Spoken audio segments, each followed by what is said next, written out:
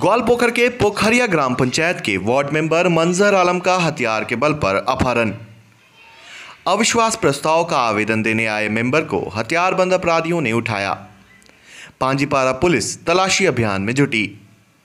पंद्रह की संख्या में आए अपराधियों ने मौके पर की कई राउंड फायरिंग। पोखरिया ग्राम पंचायत के सामने क्या बात है?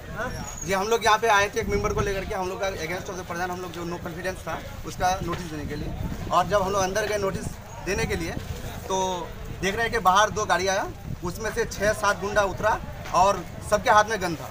उसमें से एक शहरियार था फिरोज था फिरोज जो पोखरिया के हैं और मिनाज था मंजोक का रहमुद्दीन मंजोक का था और एक सन्नावड़ी का था सलीम। ये लोग आकर के आकर के सामने घुसा गन लेकर के और चार पाँच फायरिंग किया और मेरा जो एक मेंबर है मंजर उसको उठा के लेके गया। क्यों लेके गया? क्यों लेके गया? अब वो ये तो वही लोग बताएँगे हम तो नहीं बता सकते क्यों लेके गया? और ये किडनैपिंग और ये गुंडागर्दी क्या है? पंचायत को लेकर के ये गुंडागर्दी कितना दिन चलेगा? हम इस जवाब चाहते हैं। इसलिए रास्ता अवरोध किए हाँ। इसलिए अवरोध किए सब आदमी किया है क्योंकि पब्लिक का है।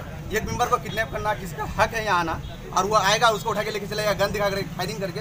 ये गुंडागर्दी कितना दिन चलेगा? थाना में कंप्लेन दिया आप लोग नहीं हाँ चला गया है देने के लिए। आपका नाम? जी मोहम्मद मोहम्मद आलम। क्या दायित्व में है आप? हम? टीएमसी का एक मेरा मेंबर है। ग्राम पंचायत। जिसको उठा के लिए और टीएमसी और जो उठा लिया जो उठा लिया वो भी लोग टीएमसी से है। आपका ग्रुपिंग बाजी से हुआ है ये सब। ग्रुपिंग बाजी हम नहीं कहेंगे। वो लोग क्यों उठाया ये वो लोग बताएँगे। ठीक। ठीक।